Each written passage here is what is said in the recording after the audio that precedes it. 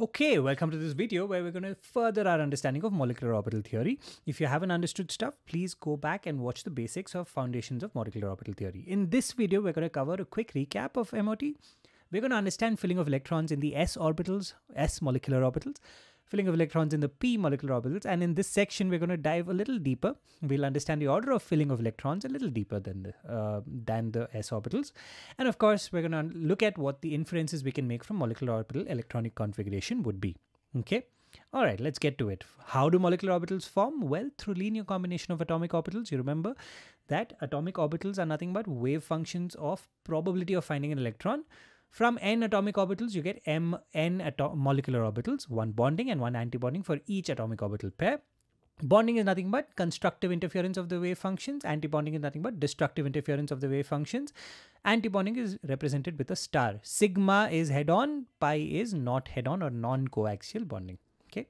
A bonding molecular orbital is always lower in energy because that causes electrons to get localized between the nuclei and it's a stabilizing state for the molecule. Antibonding molecular orbital is higher in energy because it's a destabilizing orbital.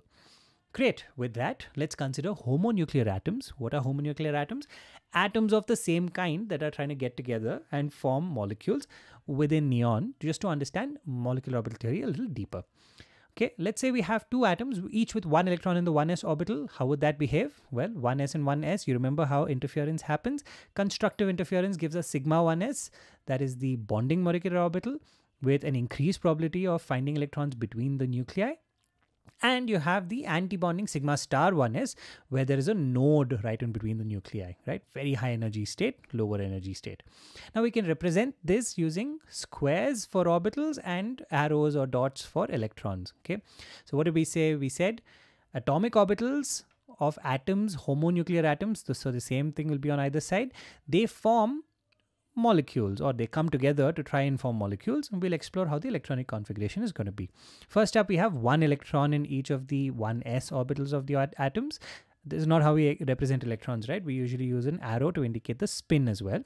Okay, now what? Let's say these atoms come close together. The electrons, now we have two electrons that can form or fill up in the molecular orbitals and we have two molecular orbitals so one will go sit here one will go sit there correct no no no no no no that's not correct in fact, you'll have to think about it in terms of energy, right? What applies here? Aufbau principle. Yes, the lower energy orbitals, even inside molecules, fill up first before the higher energy ones, okay? So keep that in mind. So the electron would pop into the lower energy one. And remember, Pauli's exclusion principle. You can't have more than one electrons having all of the same quantum numbers. So with an opposite spin, we represent the other electron. So the electronic configuration of two 1s1 atoms coming together that would be sigma 1s2. Okay, great. Atomic number 1 was for the atoms. Sigma 1s2 is the molecular orbital configuration. Easy peasy, right? Now what about atomic number 3? Well, 1s2, 2s1. That is the electronic configuration of the atom. We have 6 electrons in all. Again, fill from the lowest, go upward. So you have 2 filling in 1s, sigma 1s, sigma star 1s and sigma 2s. Okay, so this is the electronic configuration. Remember this order, sigma 1s is of lower energy than sigma star 1s is of lower energy than sigma 2s, lower energy than sigma star 2s. Now, what if the atomic number was greater than 4? Well, the p electrons also come into play right now, right? 1s2, 2s2 and then 2p starts getting filled. Let's take a deeper look at how that 2p energy level distribution would be, okay? We know 2px, 2py, 2pz, great. 2pz is the one between the two nuclei which is oriented along the internuclear axis, right? So it's coaxial orbitals.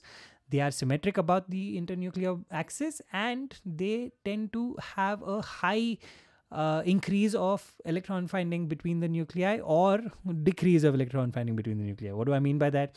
They would constructively interfere to give us sigma 2pz and destructively interfere to give us sigma star 2pz. Sigma because it's head-on overlap, okay? And these will form the most stable or the least energy molecular orbital and the highest most unstable uh, uh, energy molecular orbital okay? Now what about the other two uh, p orbitals? You have the px and py now those of course they are not coaxial. They are not going to be very strong or very weak in between the two nuclei along the intranuclear axis. They will form non head-on or pi bonds. Constructively they would form pi 2px and pi 2py. Destructively, they would form pi star 2px and pi star 2py, right? Slightly energy uh, of the pi is greater than the sigma. Pi star is slightly lesser than the sigma star. So this would be the configuration. Okay, let's just clean this up. So we see that the order of filling would what? That's correct. Sigma 2p z, then pi 2px and pi 2py, remember they're of the uh, or of equal energy. Then pi star 2px and pi star 2py of higher energy and then sigma star 2pz of the highest energy. But there's a small caveat out here, okay? What is that caveat? If you look at everything from 1s, 2s, 2p, check this out, okay? Let's assume that we are looking at the energy level diagram with electronic configuration for molecule formed from homonuclear atoms with atomic number 8. Now let's look at how the electrons would fill. Atomic number 8, what does that mean? 1s2, 2s2, 2p4. Okay, remember 2p4, you'll have individual filling of equal energy orbitals and then the pairing up. Okay, great. So that gives us so many electrons in all. Each of those electrons, let's fill them up into the molecular orbitals, assuming that the atoms are coming close together. First, 1s2, sigma 1s2. Then let's write it down here as well. Sigma 1s2, then sigma star 1s2, then sigma 2s2, then sigma star 2s2, great. Then sigma 2pz2, then pi 2px and 2py each get an unpaired electron, then the electrons pair up. That's how we would fill, remember? And then the pi star 2px and 2py each get one unpaired electron. Okay, for z equal to 8, sigma 1s2, sigma star 1s2, sigma 2s2, sigma star 2s2, sigma 2pz2, pi 2px2, pi 2py2, pi star 2px1, pi star 2py1. Okay, this is the electronic configuration. Okay, great. So hold on to this thought process. Z equal to 8 is nothing but oxygen. We're talking about the dioxygen molecule. For now, let's remove the atoms and think about just the molecular orbitals. And we know that if there are inner shell electrons in the atoms, then they would form the inner molecular orbitals. So let's get rid of those for a second. What did we just do? Well, inner orbital electrons, we just pushed them down there. We're only going to consider the valence shell electrons, okay, for now. Now check this out. For z equal to 8, this is the energy level distribution. What happens when I move to z equal to 9? Did you see that? Look at these, okay? z equal to 8 and z equal to 9. What happened? The nuclei for atomic number 9 are of higher nuclear charge. They are closer and exert a stronger pull on the electrons between them, thereby causing the molecular orbitals to be more stable than otherwise. Okay. In other words, the energy levels reduced overall. Check that out. With 8, the energy levels went higher up. With 9, the energy levels further came down because they're closer to being more stable. Okay, what will happen when we go backward? Well, energy levels are all going higher up. Energy level, ooh, when we come to atomic number 7 of the atoms, check this out. These energy levels, molecular orbitals, seem to be interacting in some manner. And that interaction causes something funny. Check this out. Whoop! What just happened there? Okay. Well, there is a decrease in nuclear charge causing an interaction between the S and P molecular orbitals. Remember sp mixing?